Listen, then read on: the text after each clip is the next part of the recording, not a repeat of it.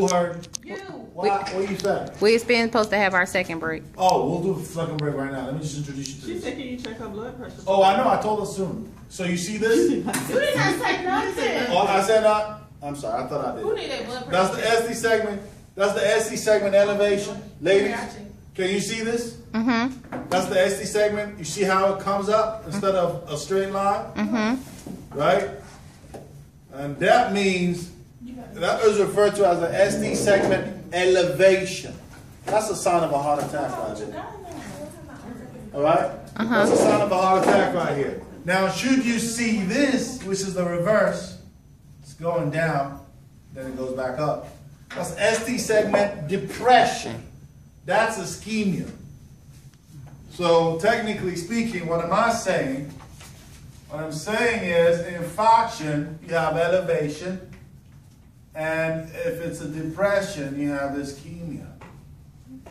Okay. So if it goes downwards, ischemia. If it goes upwards, infarction. And that's how you tell when a patient has a heart attack. Someone asked me in the other class, Dr. Chuka, the doctors can tell if you've ever had a heart attack. How the heck they do that? And I said, well, all you need to do is, all you need to know is they look for a Q wave.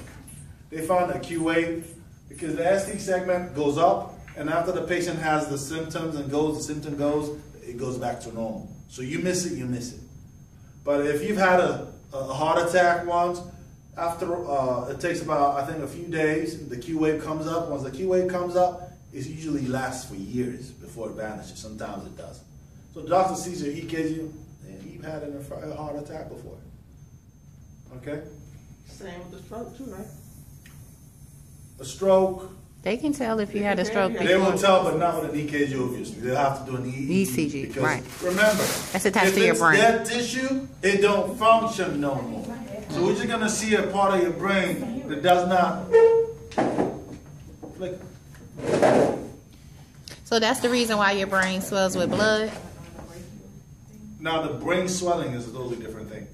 What? Okay, so when you have a stroke, all right. So my auntie, she had several strokes, but the last stroke she had caused her brain to swell so much it. When the dead, when the cells dies, it swells.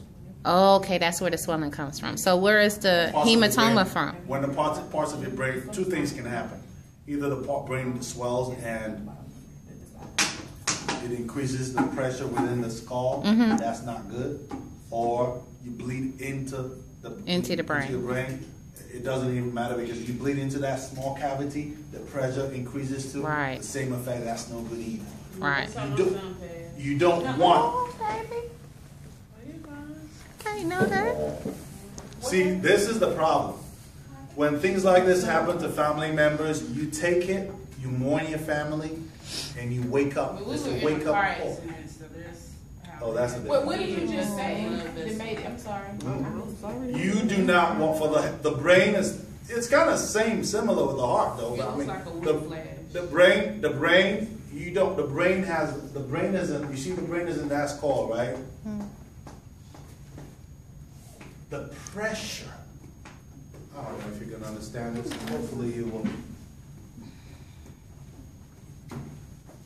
You see, when it comes to stroke and heart attacks in the South, you teach it. You see this cranium right here? You have a brain in there, right? And if you increase the pressure inside this case, the brain will, it will hurt the brain, right? And what happens is you have a case where the brain is pushed out through this hole downwards because of the pressure. A little, little, it- look, you have to keep that pressure at a point. You try to increase the pressure within the skull, you will end up pushing the brain out down this way. Okay? The problem with that is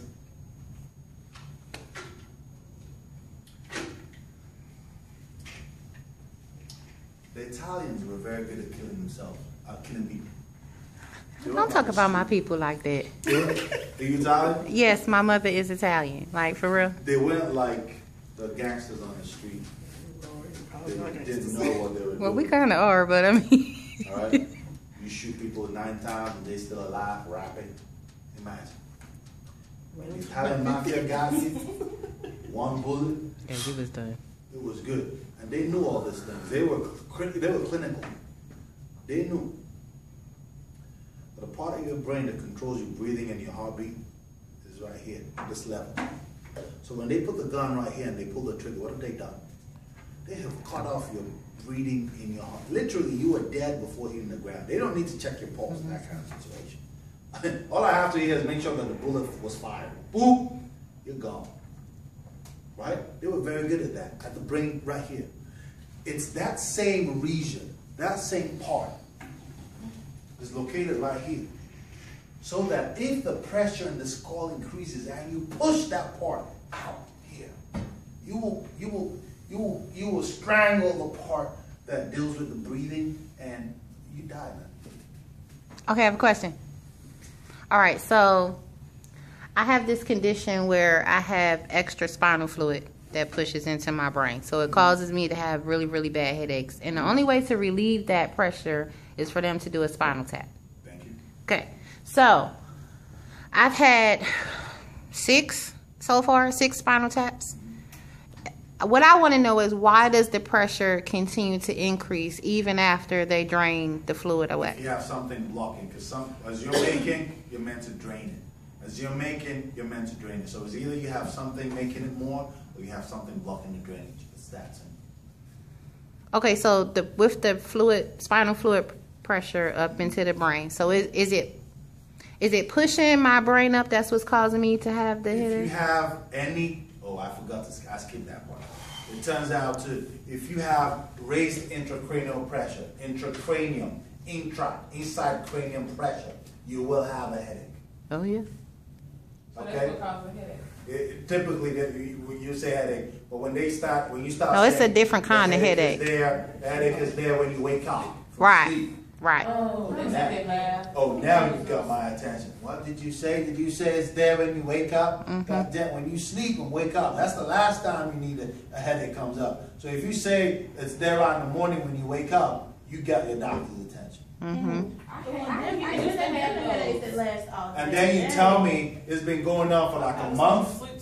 Sleep too hard. What kind of headache goes on for like a month Mm-hmm. right after you wake up from sleep? And that's how they found out because I had a headache literally for a month and a half. Like There it, we go. it would have, That week I had to go. it would have, I would have intervals where the headache was so bad that I would have blurry vision and couldn't Oh, see. no, no, no, no, no. Your symptoms are. Did they have to put you through Your symptoms. Yeah. Your symptoms were classic. All right. Your symptoms were classic. I would have- All right. It's like testing. And they tried everything because they thought it was just migraines. There's nothing to no. It's not. If you come up to me, tell me your headache is worse in the mornings it's been for a Yeah, I think it's month. because hungry. You got blurred vision. Mm-hmm. I'm gonna do a CT right there, right there, and then I'm gonna figure it out. Yeah, they did once I said, but I thought it was just my regular No, migraine. man, that is But that for me to have it for and then at nighttime it seemed like the pressure build up more because the doctor said that when I'm using my eyes all day long it's making more pressure. So I felt the headache mostly in my eyeballs. Like it felt like my eyes were going to explode. And anything if I took a pee, it would hurt. If I sneezed, it would be worse because it seemed like all the pressure, That's exactly what it is. all the pressure built up. That's- Oh. You. And the only time I feel better, right? The only time I would feel better is if they do a spinal tap. Like I wouldn't have a headache for a whole year. Mhm, That's it. You see, the thing here is, you, what, get, get, get, get, check this out. You ever wonder why they put people in a coma? In certain problems, they put them in a coma. Sometimes. You ever wonder what that's about? Brain. What's that about? They just put them to sleep.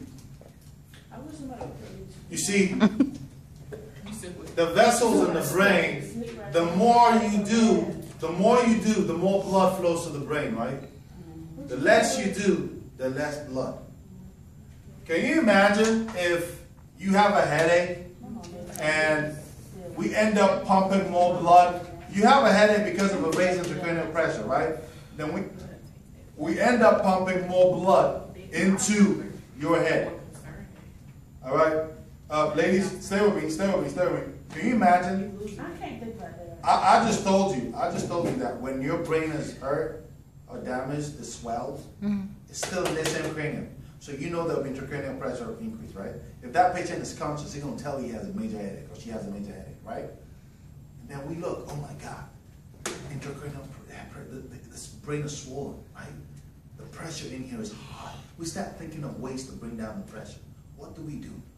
If we put this man to sleep and we reduce the blood supply going in, Oh, we're going to reduce the pressure of the vessel. The vessels will shrink. And if they shrink, it will help reduce the pressure. That's what I said. Right. So we put them to sleep. Right, And that's we what they start say, that's supposed to tweaking sleep. them Mhm. As the swelling subsides, we slowly bring them back to consciousness. Okay, so Oh, so you okay? So that's one of those that might have My question is. And sometimes they go into a coma, sometimes we induce the coma, just to set So how set. they take them out of the coma? Because I know like Anesthesia, just like you pick a lot of anesthesia, you will continuously give them drugs. It's not like you just shoot them off and then they coma for life. You will give them something and keep them so asleep. eventually. Okay, so after you have the spinal tap, right? Now, this happened to me too. They didn't let me lie down for the whole 24 hours after I had a spinal tap. Mm-hmm. Nobody told me that you're supposed to lie flat for mm-hmm. 24 hours. Mm-hmm. Okay, so when I got up, I had the worst headache of my whole entire life. And they told me the only way to fix it was to do a blood patch. Was to take blood from my arm and put it in a hole that's in my spine because air trapped into it. They said it wasn't the platelets didn't collect enough When you, when to close the spinal tap, they're meant to seal it, and you're meant to lay on that hole right. for a while until it closes. And that's the reason because air got into it and went up my spine. Right, now, now, now, um, let's do the EKG. Yeah, but not as bad as I used to. Now, let's go back to this recap. ST segment elevation is a sign of infarction, death. ST segment depression is a sign of ischemia. We can do something about it. Okay? But the main thing you need to know, you need to be able to calculate heart the heart rate. Okay? You need to know that the P wave is the atrium, QRS is the ventricle. Okay? And the T wave is repolarization, returning back to normal. All right? You need to understand where to place your leads. So, what's tachycardia? Fast heartbeat. High, high heartbeat, What's high heart, heart rate? like anything over 100. Like I Anything over 100. every time they take my pulse, it's like 112, 106. It's never under 100. Well, it, it does. It, it, it, it'll be. Miss sometimes, Shamir. What's the normal heart rate? Ain't it um like ain't it one, like one twenty? Normal heart rate. That's the blood pressure you're talking about. 100 beats per minute. No, I'm saying ain't it 60 like to 100. Real quick. I mean,